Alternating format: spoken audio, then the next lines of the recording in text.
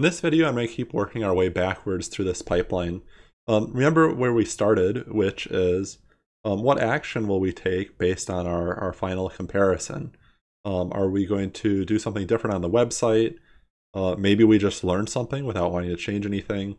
Are we trying to debug um, some code that's maybe a new version?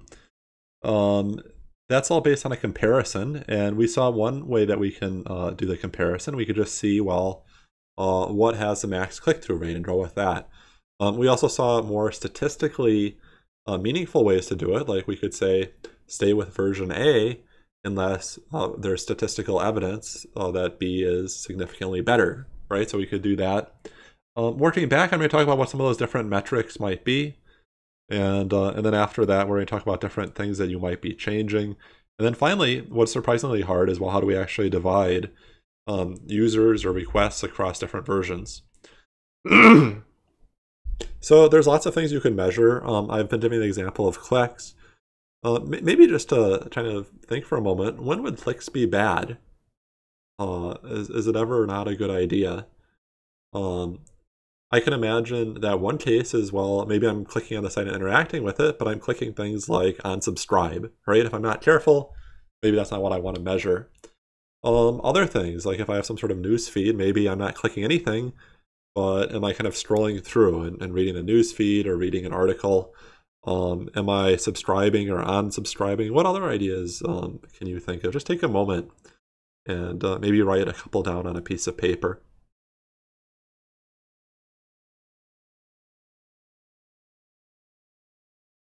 For a lot of um, companies, maybe they care about things like, well, how many purchases do we get? And uh, and if there's false advertising, well, maybe your purchases look good, but then people return it. So we also want to think about, well, how often are people returning things? Sometimes they'll track, are you hovering your mouse over a link, right? Maybe it shows that you have some sort of interest even though you're not clicking it. Um, on Facebook, are you sharing content, upvoting it, downvoting it, uh, leaving comments on it? There's all these actions that humans take when they're on websites, and they could all be fed into uh, metrics. Now, a, a, lot of companies will come up with different combinations of these metrics. Um, so, for example, uh, Bing, instead of just kind of simply measuring how often people click on things, they want to know how often they're clicking on something that's actually helpful to them as a search result. So they'll say, did you click on the link and then not hit the back button uh, with 30 seconds, right? So they're kind of combining these two events, a click and then not a back. Um, some of these are, are kind of related in tricky ways. So for example, um, let's say that I am sending really spammy emails, right? uh, if I do that, if I send more spammy emails, then maybe I'm going to get people to purchase more things, but I also might be making them unsubscribe, which will hurt me in the long run, right? So, so these kind of different metrics that make a lot of sense for a business, you have to think carefully about how to combine them and weigh them uh, in, some way, right? And especially what's tricky here is when you're doing A/B testing, it's really easy to optimize for the short term and, and to kind of forget about the long term. Um, a third thing is well, uh, before you get something you like, like let's say a customer buying something, usually there's some sort of um, pipeline that they go through, right? Maybe they go to your homepage, and uh, and then maybe they click on a product that you're advertising, and uh, and then maybe they actually go to checkout, then maybe they complete checkout, and uh, and well, they might fall off of that at different points, right? So, for example, if I remove the price from the product page link, well, uh, maybe they click on it and then later they find out, well, I don't really want this. If I put the price up front, well, then probably fewer people will click on it. But since they're going in informed, they'll probably continue all the way through the pipeline. Um, so uh, there are some lessons here that Ron has in his uh, talk. And um, the the lesson about this pipeline is that well, it's really easy to shift uh, links, you know, forward and back. It's harder to actually come up with a change that improves uh, purchases. Uh, in terms of these spammy uh, emails, uh, it's really hard to measure long-term effects because well, it's noisy. Lots of other things come into play, and so you have to be using common sense as well. Don't kind of just unthinkingly follow the metrics. So Another pitfall, it's very easy to do an experiment and look out at all the metrics and then pick some that will convince you that uh, you did a good job, right? I mean, everybody wants to think they're doing a good job. So what you should do beforehand is you should come up with one metric or maybe a couple metrics that you're going to use to overall kind of judge how you did. And those are called OECs or overall experiment uh, criterions. And uh, Bing, uh, for example, has thousands of metrics they use to debug things, but they have only four that really kind of measure what they care about as a business. So you have to think carefully about that. And that's probably a combination of these simpler uh, metrics, right, that are factoring things like are people unsubscribing, are they buying things, what are they clicking. Um, it, it's hard to have a, a, single metric that captures it all, or a single simple metric that captures it all. Um, uh, one another lesson, right, is uh, that Trovani had is that if you make something bigger, people will click on it, right? That's not surprising. Um, but there's a cost there, right? I mean, I can only fit so many things on the page sure, if I make a search result bigger, people click on it, but they won't click on other things. So you have to think carefully not just about the benefit that you're trying to measure, but about the cost, right? Maybe I can uh, do something like divide click-through rate by the number of pixels on the screen that I'm actually using. Another thing you have to be careful about is figuring out what traffic you're actually looking at. Um, we've talked a little bit about tracing uh, applications like in Flask, like how can I kind of log different events that are happening and uh, and and that's important. Like I could do these A/B uh, analysis studies based on those traces, but the thing is, is not every uh, kind of visit to my website might be a human. There are all of these bots that are scraping websites, and now you know how to do that too. Um, and for Bing, for example, over half of all their traffic is from unauthorized bots, right? So we're gonna get these traces that can have all this mix of these things. And so what you'll want to do before you run any sort of metrics is try to filter out the non-humans. And there's different ways you could do that. I mean, uh, I'm guessing a bot can visit way more pages per second than a human could. And so you'll want to have some sort of consistent way to clean up the data before I do something like click-through rate. Otherwise, I'm just going to be measuring garbage. So we've talked about these metrics. Uh, let's talk about some of the factors that we could change that might influence these metrics, like bigger font or red font. Um, uh, in, in, general, right, we want to be running two variants side by side, you know, maybe a control or version A and a treatment or version B.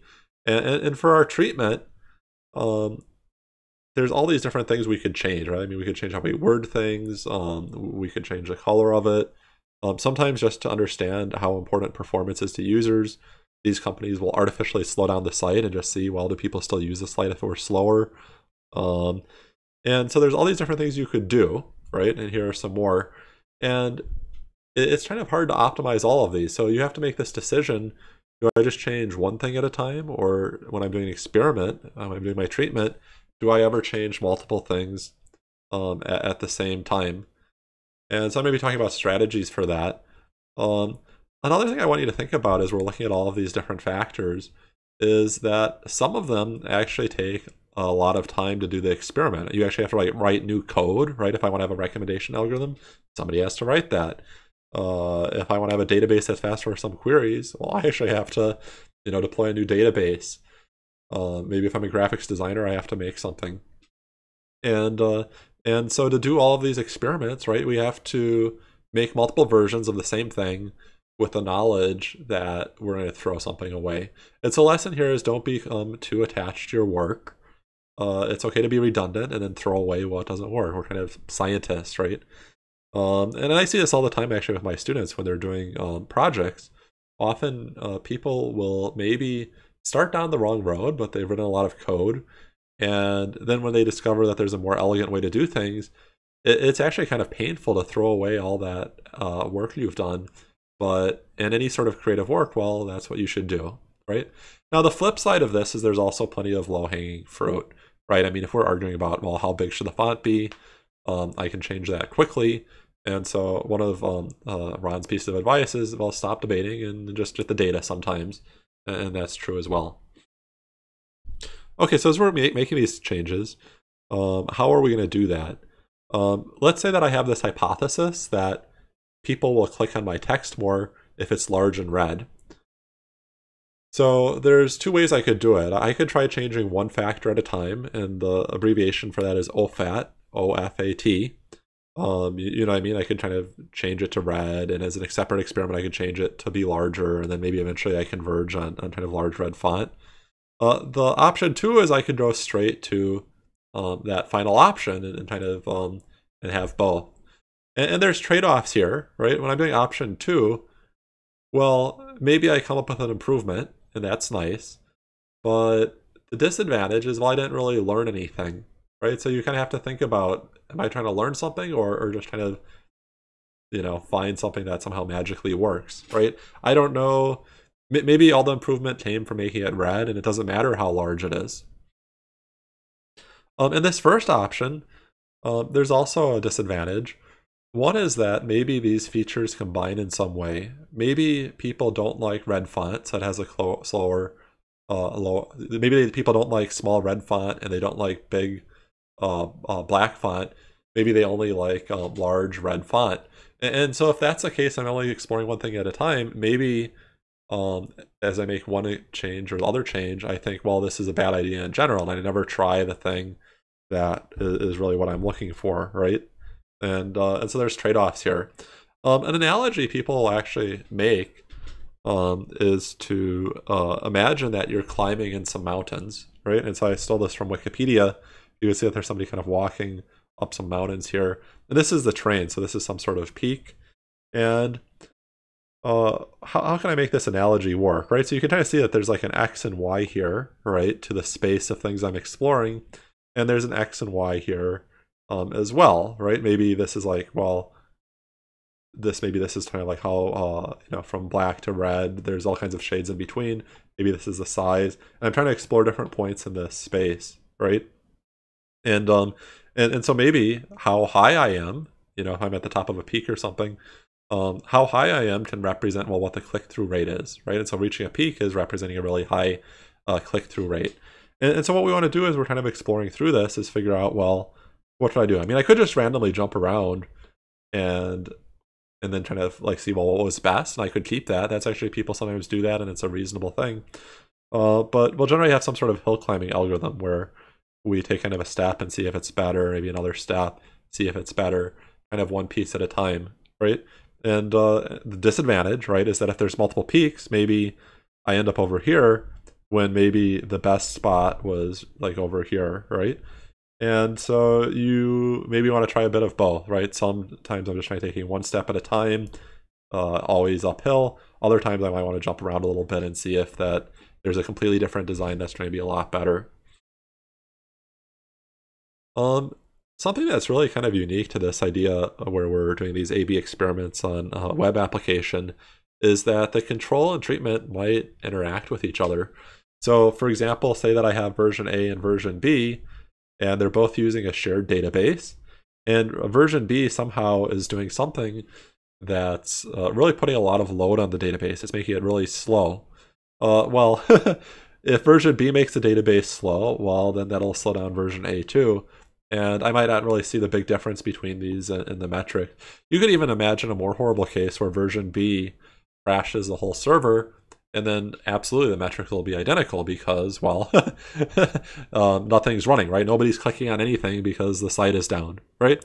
So you have to be careful right? Instead of just looking at these metrics um, for the two versions maybe you want to see like hey has version a uh, has its behavior changed over time from before when i started the experiment to when i began?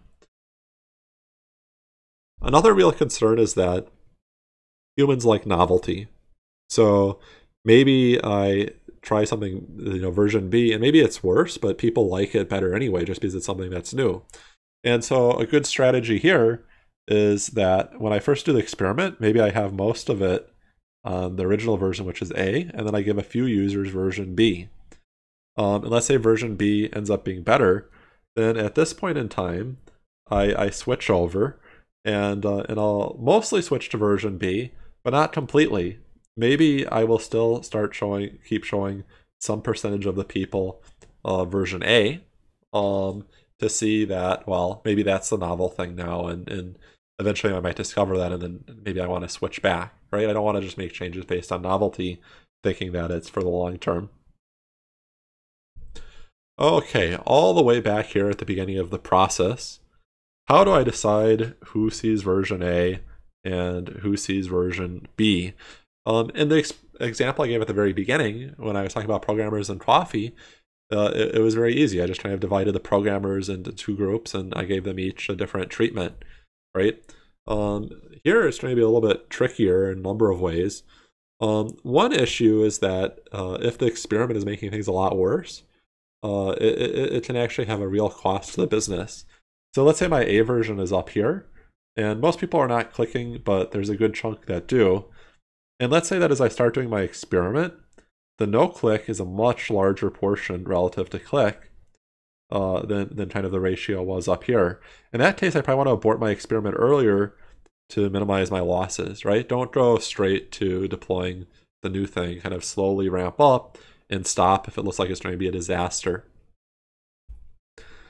Um, the other thing that's really tricky is um, kind of splitting these, right? So from the server's perspective, right over here, we have this timeline and there's requests coming from all kinds of different users, right? I mean, I have these three users over here they're all sending requests. They're kind of interleaved from my perspective of a, as, as of a server. And uh, and so what I could do that would be simple is that I could say, well, half of the requests get version A and half get version B. Uh, but but that's not great for a number of reasons. One is that it's going to be really weird for these users. Like if I see one version of the site and then like it suddenly changes for me, it feels inconsistent and bad. Um, so what I really like to do is somehow split the the users instead, right? How can I split these people so that one person always sees version A, another person always sees version B? So we have to identify them somehow. There's a few ways. There's um, IP addresses, right? Each of these computers has some sort of IP address. Um, some some things that you have to sign into, right? Like um, you know maybe Facebook or or my email. I have to sign into it. I know exactly who you are. And then maybe you've heard about cookies too. Cookies can be used to kind of track who people are.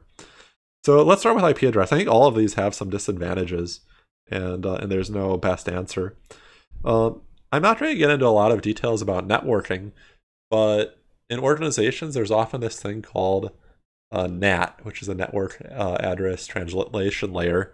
And basically, what the effect is is that I have this big organization, um, and inside of it, everybody's computer has a different IP address, but to the outside world, um, there's this layer that kind of uh, makes it look like they all have the same IP address. So, so maybe I'm over here and there's lots of different people using my website, but uh, maybe it feels like there's many different people um, involved, right? So IP addresses can kind of work, but it's hard to tell, kind of distinguish people sometimes who might be inside of the same um, organization. Um, signed in services, I think that's really uh, ideal when it's an option, uh, but it's not. An, it's often not an option. Um, for example, let's say like the thing I'm trying to optimize is how many people sign up um, and create an account on my website when they visit it. Obviously, if they haven't created an account yet, I can't track them based on their account, right? So, uh, and there's lots of other web services too where there's just no um, sign in required, right? I mean, it would be pretty annoying if you had to sign into something before you could use, you know, Bing or Google to do a search, right? So, uh, lots of cases where we can't use sign in services, though if we can, uh, that that's wonderful. Um, maybe some of you have heard about cookies. Uh, I'm actually going to show some code on the next page uh, about how a cookie works. Um, but uh, basically, what a cookie is is a little bit of information here on the computer, right? And every time the person comes here, that information gets sent over here, and uh, and so the cookie could maybe remember who um, somebody is, right? And, um, and and there's some disadvantages to that. One one disadvantage is that well, uh, people can delete cookies. There's some legal things. I guess I'll get into that a little bit more after we look at the code. So here I'm having my Flask application and I have my home page here. And uh, you can see that whenever I'm here, I can print off request.cookies, uh, or I could say request.cookies.get. It's basically like a, a, big dictionary, right? So I can have that dictionary there, and uh, and then when I respond, I can have my response object, and I can set cookies there. And so if somebody keeps visiting this site again and again, um, I'm going to have this user key and then some sort of value with it and so I can keep track of who they are. And I can make up user IDs however I want. Maybe um, this is not a great way, but I could have all what time of uh, what time of day is it when they call and that's suddenly your ID. That might get some uh, redundancy there, uh, but uh, it would be better than nothing, right? So I can do that. I can keep getting the same dictionary, and I can see if uh, the same person is coming back again. Okay, so why is this? Uh, uh, well, first off, I mean, there's some advantages. That's definitely more accurate than IP address, uh, but there's all these problems. Uh, one is cookie churn. Uh, people uh, can delete their cookies, which they actually do pretty often, right? So then maybe somebody who's an old user returning actually ends up looking like a new user. Um, people often browse websites in incognito mode. Incognito mode does not save any of these cookies, so that would also make it look like it was somebody uh, new. And then there's this whole legal thing, right? Sometimes local laws might not allow you to have cookies uh, without the informed consent of the user. Um, in particular, in the European Union, uh, there are these GDPR laws that uh, kind of govern that. And I'm not trying to pretend I'm an expert on uh, all of these legal angles, um, uh, especially internationally, uh, but it's a real concern, right? I think cookies are some ways sketchy, right? That we're kind of tracking users in this way, and the law has been catching up to that. So to summarize, we have our little picture here, and just to kind of work backwards. Um, why are we doing A/B testing to start with? Well, for different reasons. Maybe we want to make a business decision. Um, in other cases, maybe we're trying to debug a new version of the code, or, or sometimes even just learn something about humanity. Um, we have to do comparisons in different ways. Maybe if I'm trying to do a business decision, well, I just choose whatever has the highest metric. If I'm trying to learn something, well, I have to probably use something more rigorous like significance testing. Uh, we saw that there's a lot of different metrics. Um, you know, am I there's simple metrics like you know, am I uh, clicking on something? Is my mouse hovering over it? Am I looking at it? And then lots of uh, combos. Maybe did I click on something and then not click back? Um, before we can do these metrics, we want to clean up our data uniformly to pull out any sort of bot traffic. And then we want to have maybe like one final metric that we're trying to optimize that's probably a combination of a bunch of these simple ones. Uh, and, and, then finally, you know, don't just follow the metrics, whatever they tell you, but you know, be a human and use your intuition and uh, don't chase small gains if you're doing something that might hurt your brand or your business, or of course, you know, don't do anything that's unethical, right? Um, in terms of treatment, we saw that we there's lots of different factors we can change about our website, of course. Um, we saw that factors often involve a lot of coding and design work. And so if we're in this whole idea of, well, I'm going to build version A and version B and eventually throw away the one that's not that great, well, I just have to be in this mindset that it's okay to do redundant work and throw something away. That that's fine in creative fields. Um, uh, we saw that there's different strategies. I can change one thing at a time. That kind of helps me learn things, but it's harder to make drastic redesigns. Uh, we we talked about how novelty can be a factor. After we do an A/B test, well, do something like a BA test and see if uh, if the novelty wears off, and we should uh, uh, switch back. Finally, we talked about how we would split traffic between versions A and B, and uh, and one lesson is that do it slowly. Right, it's possible if version B is terrible and uh, it's too expensive to do the whole experiment. And and then second, it actually is very hard to split people. Uh, we learned about a few different ways with different uh, trade-offs, right? If we have an account for them, that's awesome. Otherwise, we have to use some sort of hint, like what is their IP address or, or what cookie are they dealing with.